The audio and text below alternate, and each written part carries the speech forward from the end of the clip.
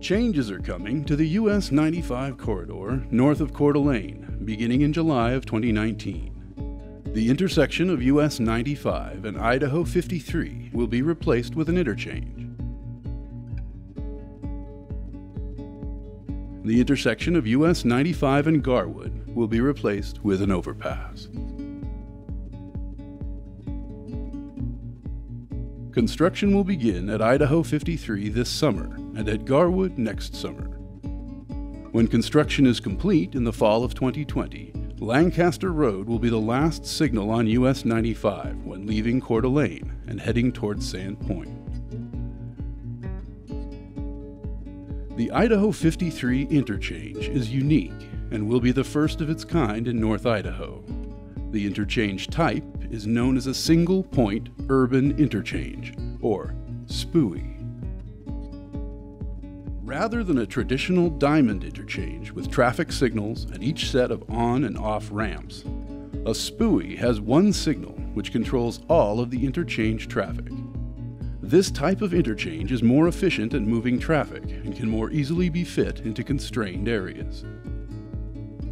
The Idaho Transportation Department would like to show you how this interchange will work so that you are familiar with it when it opens. The term single point refers to the fact that all traffic on Idaho 53 and left turns from the interchange ramps are controlled by a single signal located in the center of the interchange bridge. The signal will operate using three cycles. Cycle 1 is for through movements on Idaho 53, the traffic that is not turning. Cycle 2 is for traffic leaving US 95 and turning left onto Idaho 53. Cycle 3 is for traffic leaving Idaho 53 and turning left onto US 95. Right turns off of the ramps are signalized to protect drivers from through traffic. The existing signal will be removed. Northbound and southbound traffic will flow unrestricted under the interchange once construction is complete. Drivers traveling from US 95 to Idaho 53 will either turn left through the interchange signal or right through the off-ramp signals.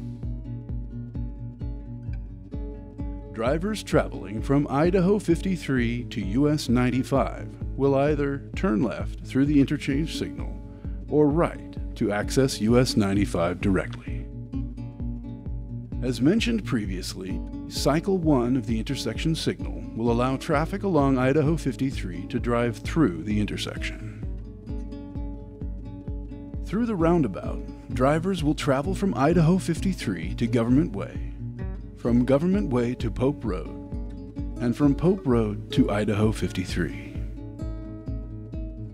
The new single point urban interchange will allow higher volumes of traffic to cross safely and more efficiently than the current design. You may notice that turns are a bit longer and that vehicles are stopped further away from the signal. Be sure to drive slowly and carefully your first time through the new interchange in order to become familiar with it. Read overhead directional signs for assistance.